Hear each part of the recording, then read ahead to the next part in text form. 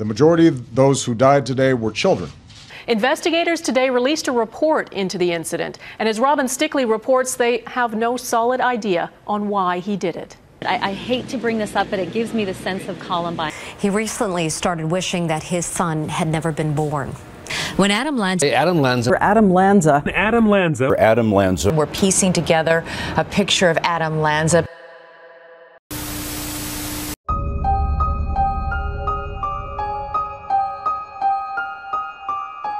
Day was December 14th, 2012, and people in Connecticut were steadily preparing for the holiday festivities that were already on the horizon. Unbeknownst to anyone, what would occur in the morning of that day would not only shake up the state, but the entire United States of America, as Adam Lanza would not only commit one of the deadliest shootings in modern US history, but also the country's deadliest elementary school shooting. Welcome everybody to the first episode of Deadly Minds, where I will explore and explain as many things as I can about some of the biggest and deadliest atrocities that have ever happened in human history. Today we'll be looking at one of the most interesting cases that I have ever investigated, a case that has made me go to extreme depths for information, probably more than what is healthy for a person. Well, ladies and gentlemen, without further ado, this is the story behind the Sandy Hook Elementary School shooting.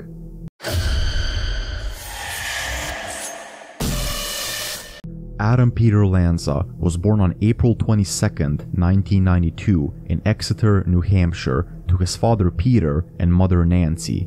At the beginning of his life, he lived on land owned by Nancy's family alongside his older brother Ryan. Nancy wanted a fresh start and also wanted a good home and school system that was more suited to her son's needs, so in the summer of 1998, the Lanzas moved to a small town in Connecticut, 36 Yogananda Street, Sandy Hook.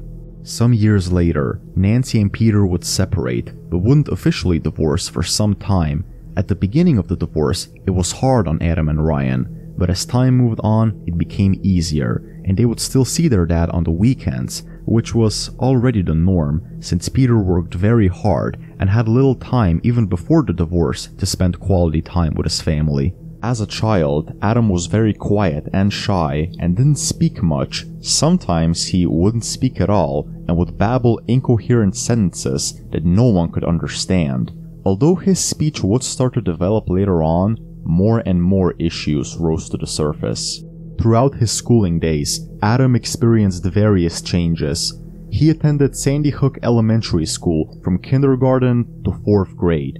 He then moved on to Newtown Middle School from grade 5 to 7. Around the time he was in 7th grade, Adam moved to St. Mary's Catholic School. The reason he switched schools was due to being diagnosed with Asperger's, which is a developmental disorder that falls under the umbrella of autism. And due to this, he would have difficulty with social communication and also had sensory sensitivities, especially towards sound and texture. He was a vegan who apparently did not like the texture of food.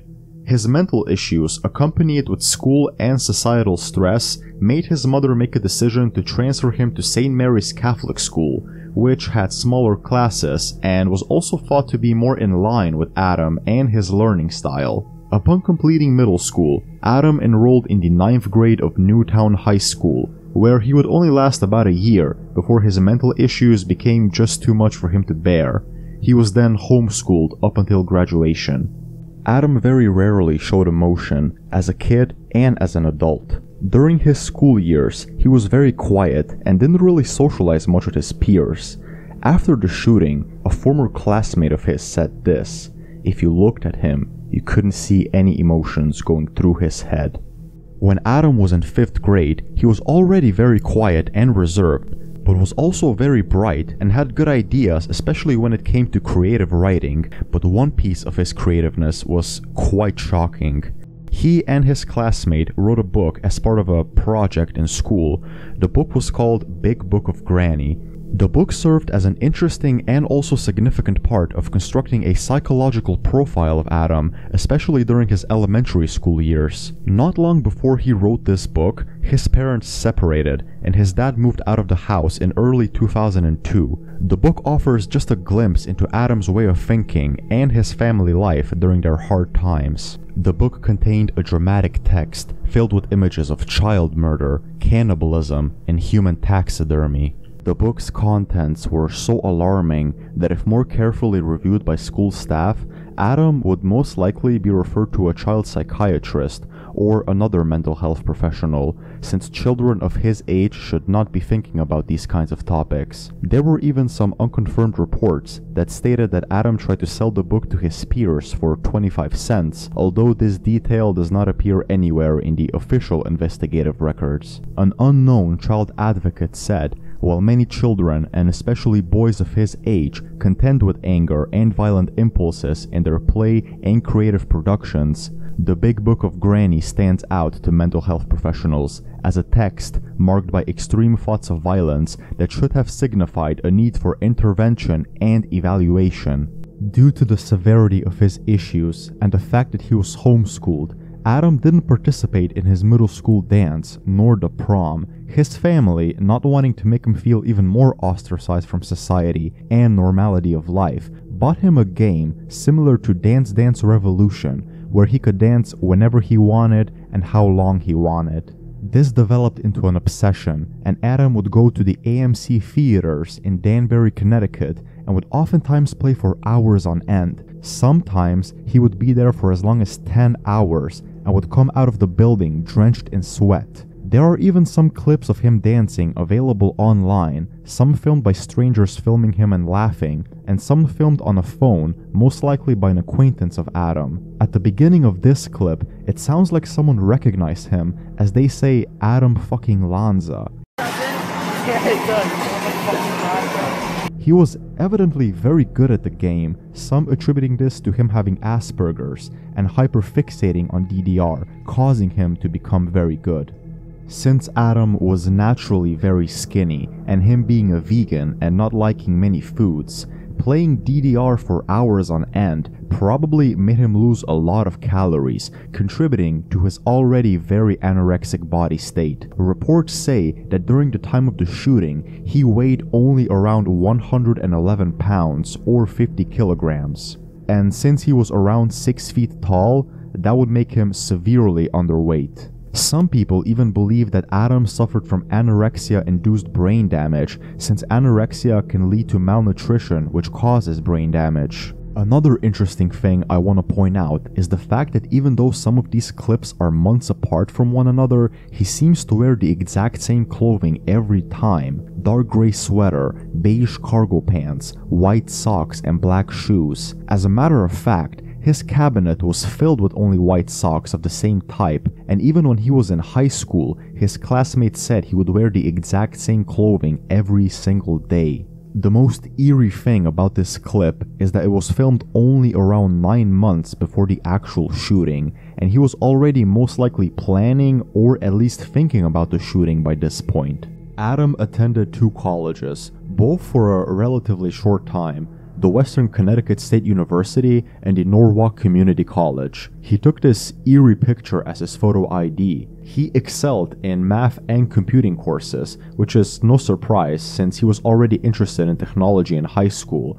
and was by all accounts computer savvy. He was also interested in language and participated in a language course as well. His dad Peter believed that Adam was taking too many courses and that his anxiety and mental health issues would only get worse because of that. This was true since when he was taking college courses, he would often cry in frustration and refer to himself as a loser. He referred to himself as a loser as early as elementary school. Due to his father saying that, he cut all ties with him and didn't speak to his dad for the rest of the time he was alive, not responding when being called or texted. It was reported after the shooting that Adam had no contact with his father and brother for almost two years. In the enigma of Adam Lanza's mind and motivations for murder, Peter Langman of the Langman Psychological Associates believed that Lanza was suffering from schizophrenia since he was expressing several behaviors and traits that are associated with being schizophrenic. One of them is lacking expressed emotion or the so-called flat affect. Pictures of Adam when he was a teenager and a young man shows him always having a blank stare, that sort of a deer in the headlights look, with his eyes wide open and his face expressionless, as if he was a mannequin. Another trait that Adam possessed was his failure or inability to speak, even when him speaking was to be accepted or even helpful. An example of this is Adam's hairdresser, with whom he never talked to, and was always accompanied by his mother, who answered for him. I know the mother and the son. How, well, how do you know them? They used to come here for haircuts. So I know the mother used to bring them in. So that's that's the only way I know them. They used to come here for years. And uh, we would come here and get a haircut. Wouldn't talk to anybody. Uh, look down at the ground, make no eye contact. Matter of fact, when I was done, when I was up front, I would go up front get him to cut his hair. And I'd say, Adam, come on. He wouldn't move. The mother would have to say, Adam, come on, he's ready. So I was like I was invisible. Same thing at the end of the haircut. I'd say, Adam, okay, you're all set, Adam. You're all set. He wouldn't get out of my chair until the mother actually came over. All right, come on, Adam, let's go. And grab by the arm. And then say, all right, you're ready to go. He's done. We can go now. And that was it. So. When you were attempting to try to talk to him, did you Oh not yeah, yeah, yeah. Uh, I would always make jokes with him, trying to talk to him, and just make conversation with him cutting his hair. He wouldn't say a word. He, he wouldn't look down from the tile. He wouldn't look up. He looked down the whole time. So he wouldn't even make eye contact. He wouldn't talk to me. And I'm a talker. I try to talk to everybody. And he just wouldn't even respond to me. He wouldn't talk to me. He wouldn't say anything. He would look down at the tile. He wouldn't bring his eyes up. His eyes wouldn't raise down up from the tile. The only time that he would move or make any type of movement is when his mother told him to. That was it. And those were the only times. Those were the only times he moved or he made any type of response from everything, anything. He would walk out ahead of his mother, and that's it. I want to quickly talk about something that he said. Adam Lanza's mother, Nancy Lanza. Nancy was pretty much the only woman in Adam's life. Hell, she was pretty much the only person in his life. After she and Peter divorced and Ryan moved away due to work related reasons, the only person Adam had actual contact with was his mom and that one DDR friend, which I will mention later on with whom he would sometimes not even talk to in their own house, but would rather email her and they would communicate through text, whilst being meters away from each other. A little before the shooting, Adam made a document titled Selfish, in which he focused on explaining why females are selfish, in his opinion. The document expresses extremely hostile opinions on women and their sexuality. To be honest, I don't know why, but it's kind of interesting to me that he uses the word female instead of woman or girl when describing them, since that is the buzzword or whatever you want to call it of this modern time, especially on Twitter, man. You call some chick a female, ooh, your ass is gonna get cancelled, bro. Dead ass. The other interesting thing about this document is that since Nancy was the only woman in his life, this may as well be referring to her and even adding to the theory that their relationship was virtually non existent. In 2011, so about a year before the shooting, he would post this message online, responding to someone else sarcastically saying that he would bang his mom. We will fuck her together, then kill her and dispose of the corpse. Adam did also not use his cell phone. Whenever someone would call him, he would just let it go to voicemail. And this is what he did to his dad after their relationship crumbled in 2010. And before he went to Sandy Hook, Adam would smash his computers and destroy the hard drives so that any possible evidence or a digital footprint of him would be harder to find. Okay, now we have pretty much gone over Adam's life, and it's now the time to talk about December 14th, 2012 or also known as the Sandy Hook Elementary School shooting.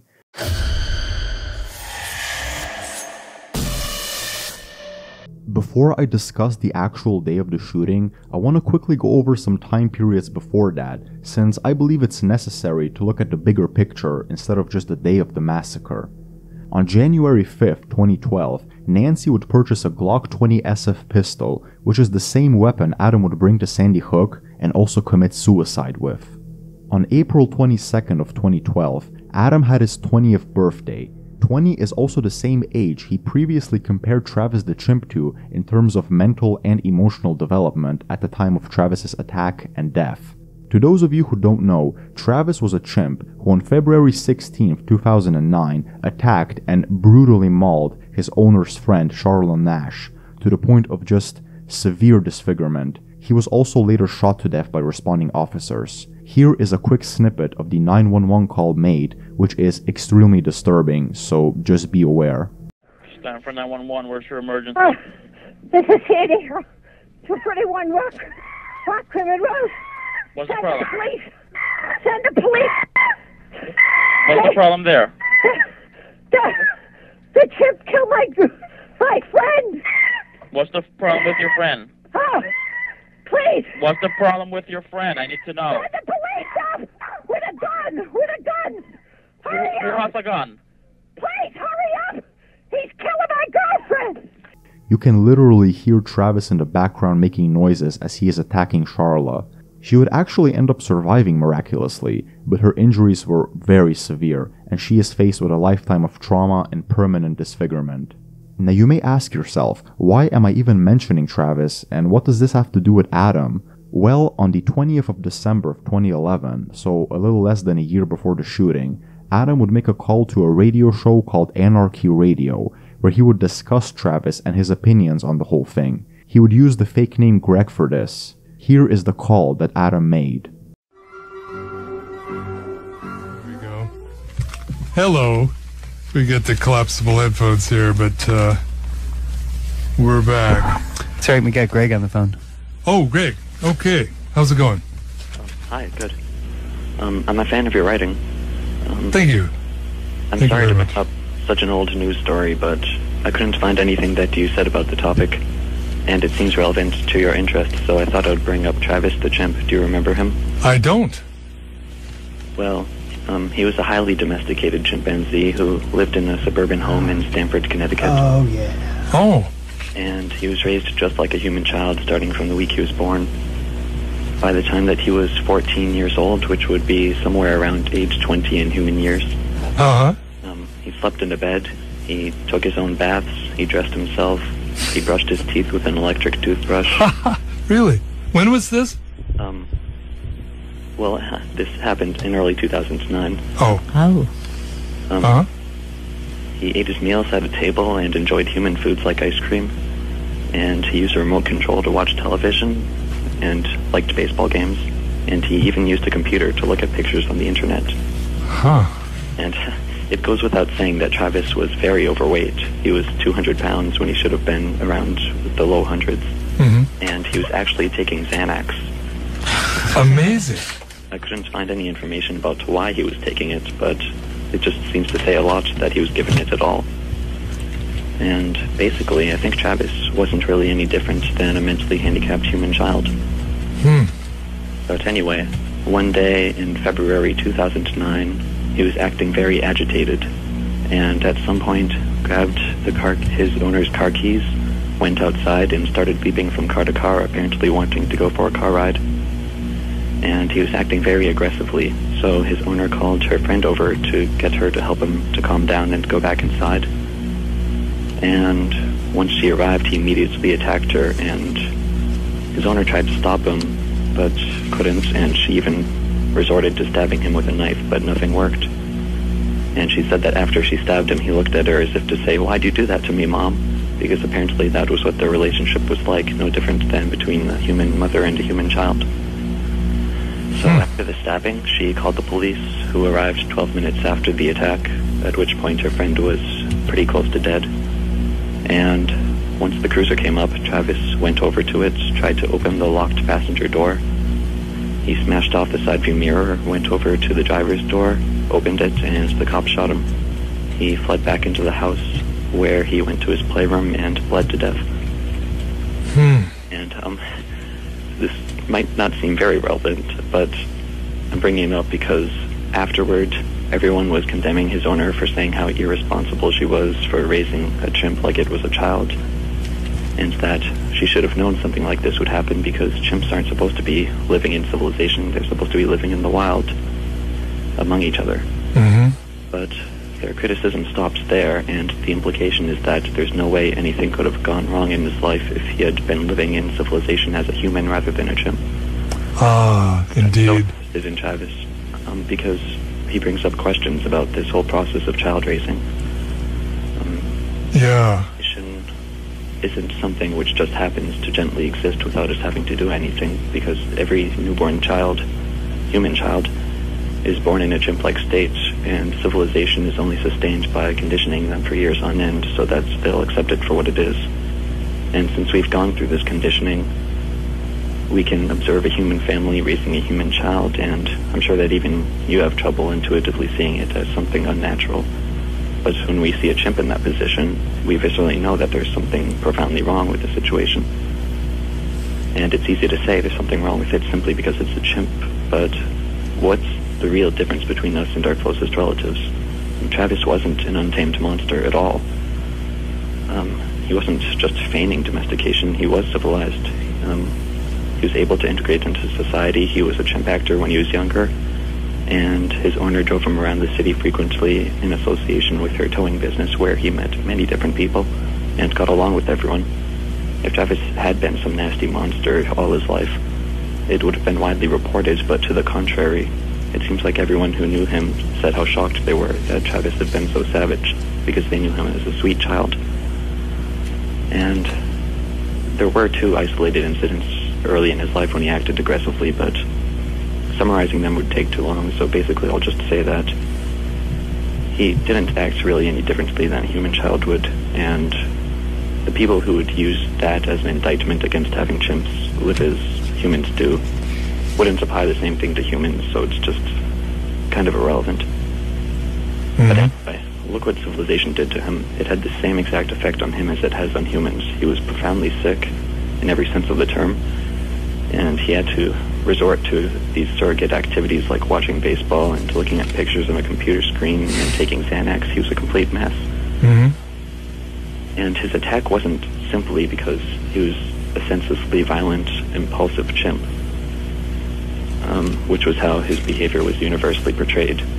Um, immediately before his attack, he had desperately been wanting his owner to drive him somewhere. And the best reason I can think of for why he would want that, looking at his entire life, would be that some little thing he experienced was the last straw, and he was overwhelmed by the life that he had, and he wanted to get out of it by changing his environment, and the best way that he knew how to deal with that was by getting his owner to drive him somewhere else. Yeah. And when his owner's, owner's friend arrived, he knew that she was trying to coax him back into his life of domestication, and he couldn't handle that, so he attacked her and anyone else who approached him. And dismissing his attack as simply being the senseless, violent impulsiveness of a chimp instead of a human is wishful thinking at best. Mm-hmm. His attack can be seen entirely parallel to the attacks, random acts of violence that you bring up on your show every week, Mm. Committed by humans, which the mainstream also has no explanation for. And No. actual human, I just, just don't think it would be such a stretch to say that he very well could have been a teenage mall shooter or something like that. Yeah, yeah. And Wow. Thank you, Greg. yeah, That's quite a story. Yeah, that's uh, really apropos, isn't it? Travis the chimp. it's just that I'm a little surprised that I never heard you bring it up at all because maybe I'm just seeing connections where there aren't any. But Not, I think not. No, I just, I didn't catch that one. I didn't, uh, maybe I was out of the country or something. I don't know, but I missed it. Thanks very much, man. thank you. Take Bye. care. Wow, very well articulated, I think. If any of you have any doubt, this was actually confirmed to be Adam by Adam himself, since he created a thread called Rest in Peace Travis the Chimp, on which he also posted his call to the radio show. His online moniker for this website was Smiggles, which was also confirmed to be Adam. The thing I noticed about this call was that he sort of eerily uses Travis as a metaphor for himself and his beliefs. On the 23rd of July 2012, Adam would write this email to an unnamed cyber acquaintance. My interest in mass murder has been perfunctory for such a long time. The enthusiasm I had back when Virginia Tech happened feels like it's been gone for a hundred billion years. I don't care about anything. I'm just done with it all. On the 15th of November 2012, Nancy would write an email to Peter in response to him being frustrated that Adam hasn't responded to his emails for over a year. I will talk to him about that, but I don't want to harass him. He has had a bad summer and actually stopped going out. He wouldn't even go to the grocery store, so it's been pretty stressful. Yesterday was the first time in months I've been able to talk him into going to do his own shopping, and his car battery was actually dead because it sat, so I ended up spending most of the day getting it fixed, and now I'm going to have to start pressuring him to go out all over again. Now, by this point, Adam has essentially not left his room for months, ever since June of 2012. And why is that? Well, that is where that DDR friend of his that I mentioned earlier comes into play. Him and Adam got into a serious fight, and Adam would cut all contact with said friend, and since that was pretty much his one and only friend, Adam now had no one. When Nancy said he has had a bad summer, this is what she meant. The fight caused Adam extreme stress, anxiety, and depression, and he would isolate himself even further. His room and computer basically became his whole world. Even in late October, when Hurricane Sandy hit, and the Lanza household would lose electricity for several days, Adam still refused to go anywhere, and Nancy had told her friends that he had basically shut down. Oh, uh, a little side note have any of you ever tried to make Adam's cookie recipe? If so, just let me know down below, cause hell, I might try to do it. On November 22nd, Nancy traveled to New England to visit family for Thanksgiving. Adam did not want to go, so he stayed home by himself, and at this point he was almost 100% already planning his shooting rampage. On December 1st, Nancy emailed her friend about violent drawings she found that were made by Adam, although she did not confront him about it. On the 10th of December, Nancy texted a friend about Adam bumping his head really hard to the point of blood being drawn, but she also said that it looks worse than it actually is. On the 11th of December, so only three days before the shooting, Nancy again left Adam home alone since she went on a two night stay to a wellness center in Bretton Woods, New Hampshire. There have been reports that Nancy's health was declining, and she herself had anxieties about her health issues and also her family's genetic predisposition for early death, which she called a time bomb. She learned that she had lesions on her brain similar to her grandfather who died because of it. She arrived home in the early evening hours of December 13th. That night, she would go to bed, not knowing she would never wake up, and that her son was about to commit one of the worst school shootings in American history. On the same day, the GPS unit in Adam's car showed that he drove past the Sandy Hook school, presumably to scope it out the day before the attack, although there was no indication that he actually drove onto the school property. The time was from 9:09 a.m. to 9:32 a.m., so almost exactly a day before the shooting, meaning that Adam knew he would attack the school somewhere during this time tomorrow. Okay, now that we got all of that out of the way, it is finally time to discuss the Sandy Hook shooting.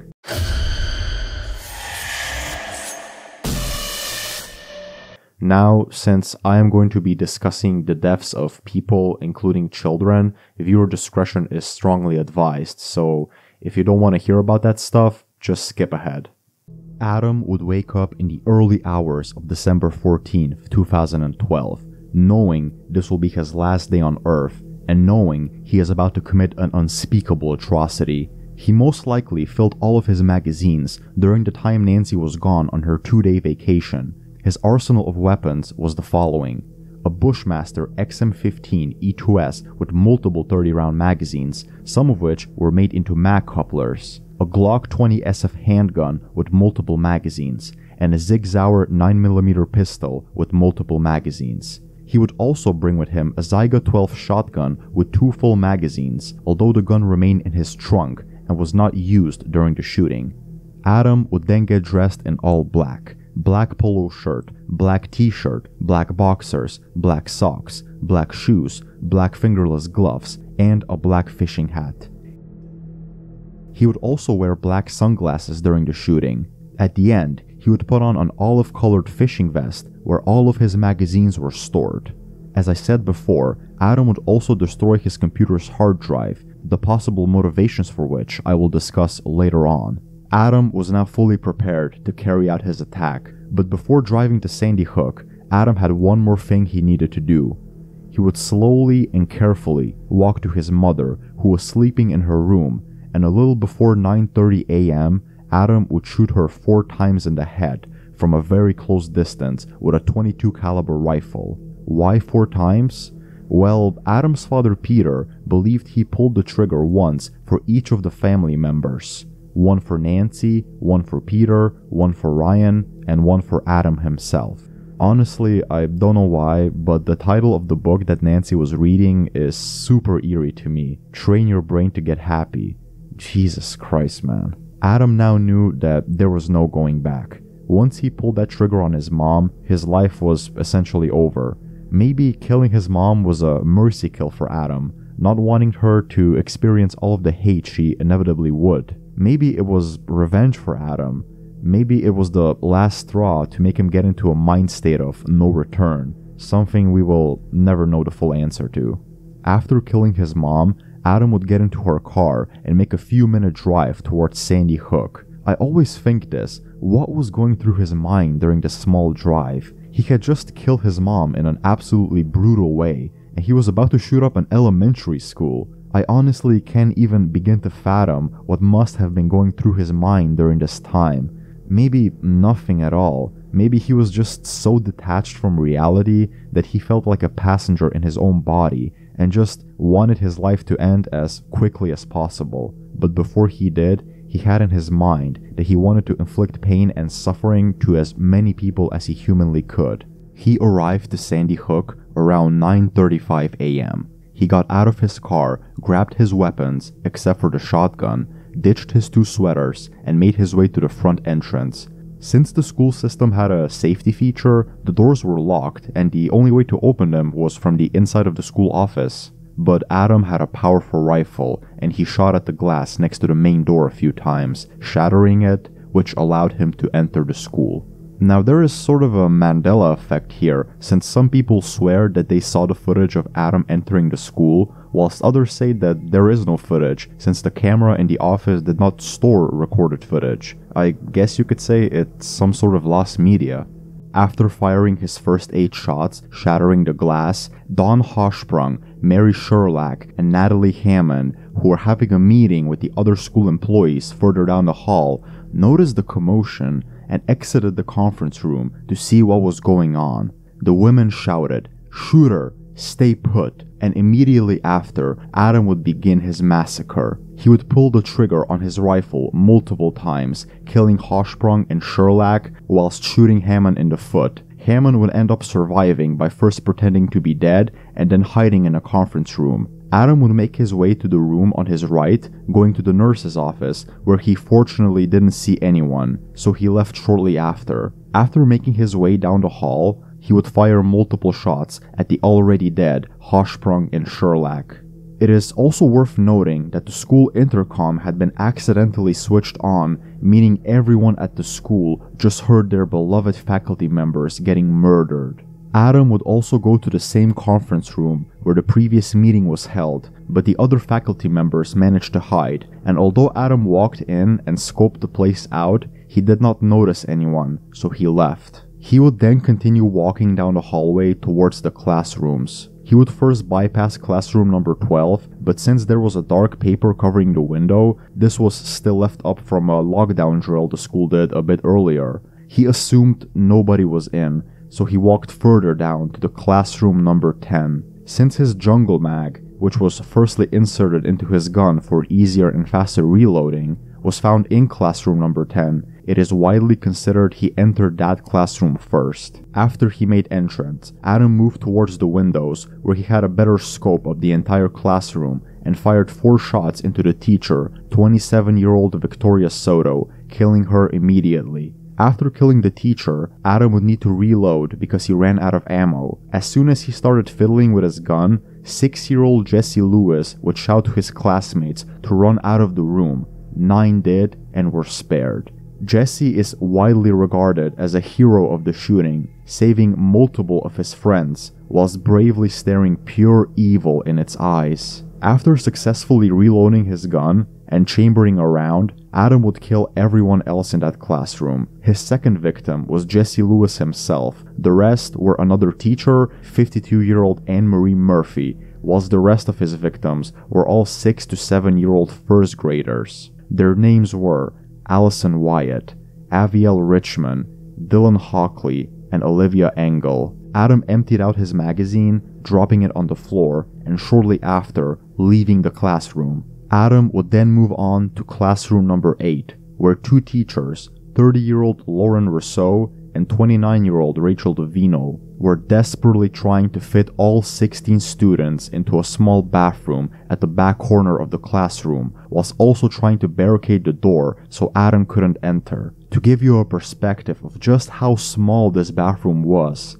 here are some pictures. They would eventually manage to fit all of the 16 students into the small bathroom, but soon after, Adam would enter the class, first killing the two teachers and then walking to the back of the classroom, firing almost 80 shots at a very close distance into the small bathroom full of children.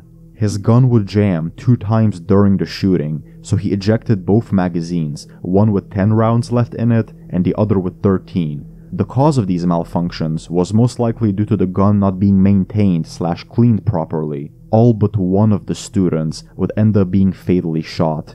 The cause of death for most of them was multiple gunshot wounds to the body. The victims of this horrific massacre were Charlotte Bacon, Daniel Barden, Josephine Gay, Anna Marcus Green, Madeleine Hsu, Catherine Hubbard, Chase Kowalski, James Mattioli, Grace Audrey McDonnell, Emily Parker, Noah Pozner, Jake Pinto, Jessica Rekos, Benjamin Wheeler, and Caroline Previdi. They were all, yet again, first graders between the ages of 6 and 7 years old.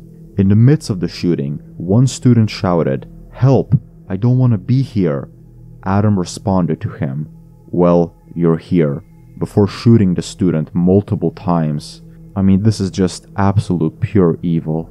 Although what Adam said during the shooting has never been 100% confirmed, some reports stated that Adam said things like, Look at me, and hands up during the shooting. I honestly can't even imagine the level of trauma that one girl who survived the bathroom massacre must have experienced. I just hope she has a good support system and has received immense therapy and help because seeing 15 of your friends and two of your beloved teachers being killed in such a brutal way in front of you has to be just a unfathomably bad experience on a supposedly happy day at school. I can't even begin to imagine. After leaving classroom 10, Adam noticed that his gun is overheating and isn't working properly.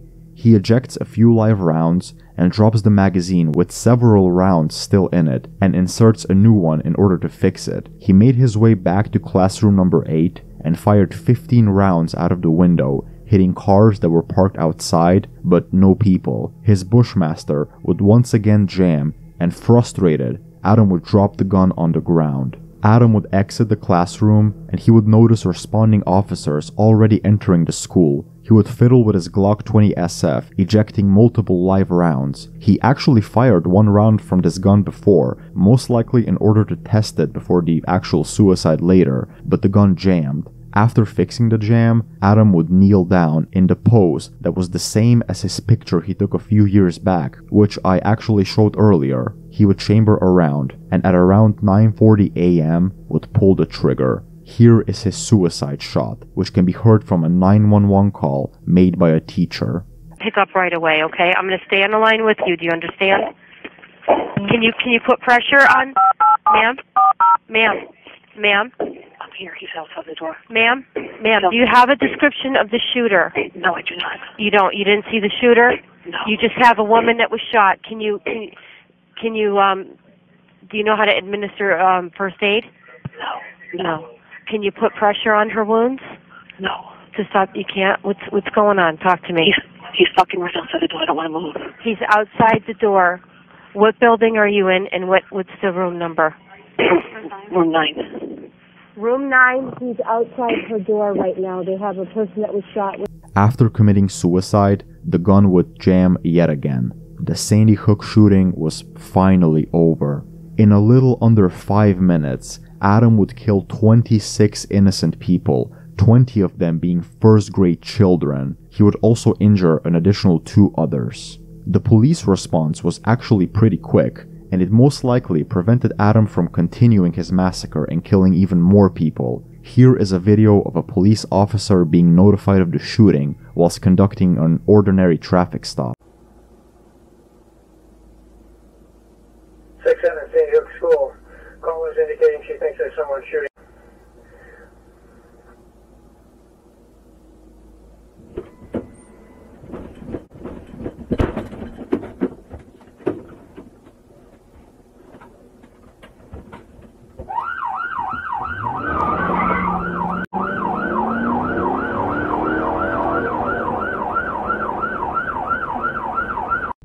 After the school shooting, Adam's brother Ryan was actually accused of committing the shooting first, and that was because Adam brought Ryan's ID with him to the school. He made these posts on Facebook slamming CNN, who falsely reported it, and stating that he was miles away and was returning home. He would actually get taken in by police for questioning, but he was released afterwards. Ryan has never actually given a public statement or an interview and has always stayed out of the limelight. Adam's father Peter has also not given many interviews, but he has said in one that he wishes that his son Adam had never been born. As you could expect, the entire community, state, and country was in absolute shock by what happened in Sandy Hook, and although huge promises were made, we know now that almost nothing has changed, and school shootings still occur all too frequently in the United States.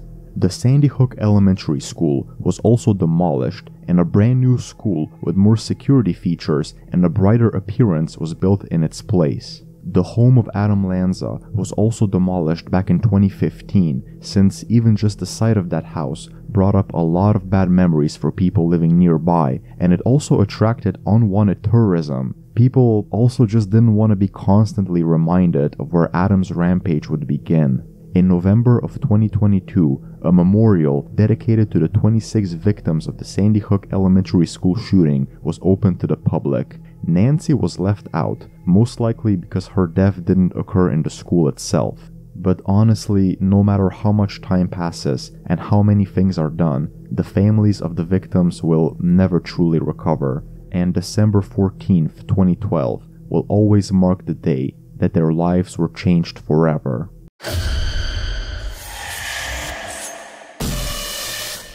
So Adam's mother Nancy was initially, and to be honest still is to a certain degree, extremely hated by people all around the country for obviously not seeking more help and not recognizing that her son was in clear mental and physical deterioration, and most damning of all, introducing him to guns and shooting. Now, I am not going to say that this is on her, since the woman is dead, and at the end, she should not be solely held responsible for what her son did. I mean, he was 20 years old at the time. It's not like it's the Ethan Crumbley case when the kid was 15 and the parents were jackass idiots. She is not here to defend herself, and she is honestly so, so frequently left out as a victim of this incident, which she clearly was. So just let her and the other victims rest in peace, man. After the shooting, investigators wanted to find a motive, obviously. But since Adam was an extremely isolated individual who killed essentially the only person he had at least a smidge of contact with, and also destroying his main hard drive, it was difficult for investigators to come to an objective motive. Now, he most likely destroyed his hard drive because, to be honest, there would be some pretty messed up shit on there. Even something like cheese pizza, probably. So, throughout the investigation, they discovered that Adam had a vast interest in mass shootings and mass killers. He edited multiple Wikipedia entries about certain shootings down to the smallest minute details. He also created a spreadsheet of mass killers where he ranks the individuals based on the amount of people they killed and injured. He also included the weapons they used, how the shooting ended, the time and place of the shooting, and so on and so forth. He would also discuss mass killers frequently online, once even stating that serial killers are lame and that mass murderers are the cool kids. I guess one could say that he was obsessed with mass killings down to the smallest details. Adam also hated culture to an extreme extent, and he did not want to defy himself by its standards. Here is him talking about culture and criticizing it. I didn't understand this when I was younger, but I've always had an immense hatred for culture. I considered culture to be delusional values which humans mindlessly coerce onto each other, spreading it no differently than any other disease. I previously sought to eliminate my cultural values to the greatest extent that I could. Through this I expected to gradually discover values of an inner self which could be reconciled with this society, so that I could engage in activities and pursue goals which would lead to happiness. Eventually I got to a point where I had sufficiently freed myself from what I called cultural values. When I analyzed all of the things which brought me happiness and all of the goals which I wanted to pursue, I realized that absolutely everything about those things that appealed to me was entirely a consequence of my cultural infection. Formerly, I had rejected some aspects of culture while accepting other ones and merely not calling them cultural, as if those values were somehow transcendent and mine. It was at that point that I realized that there is no such thing as an inner self. Any sense of self is a delusional cultural construct. I realized that cultural infections were the sole source of any possible value beyond base values. For a while, I believed that happiness could be attained if culture could theoretically be eradicated and anarcho-primitivism um, anarcho were to take hold.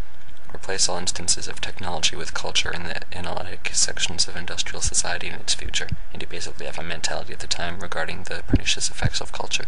Investigators also found out that Adam had an interest in children.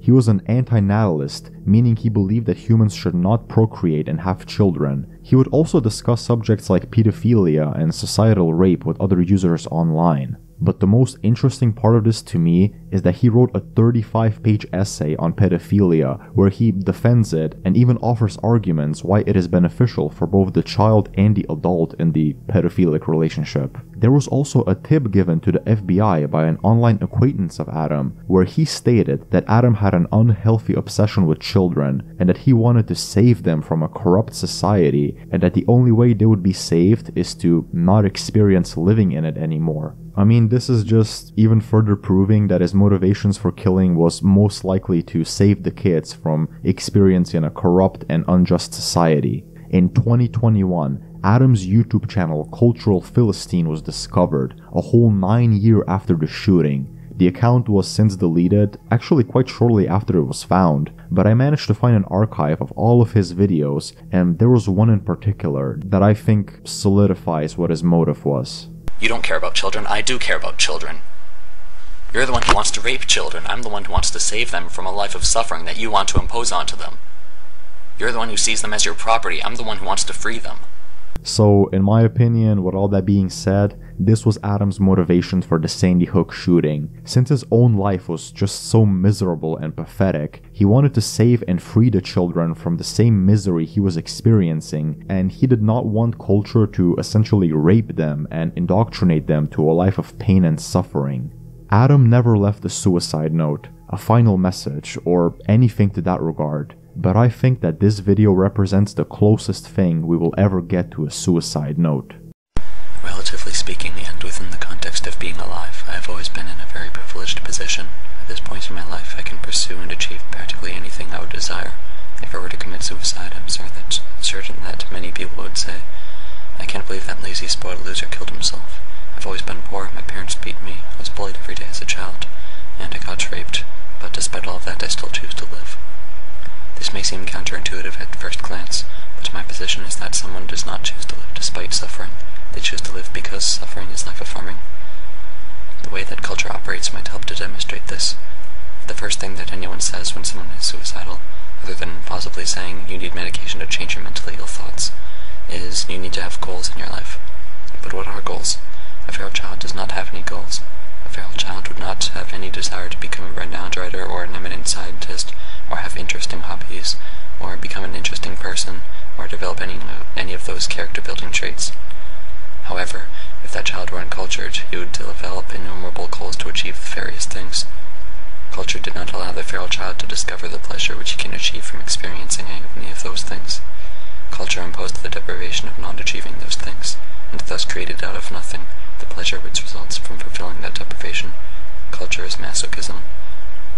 Since life seeks to propagate itself, I suspect that culture emerged to prevent human intellect from enabling feral people to lose their aversion to death.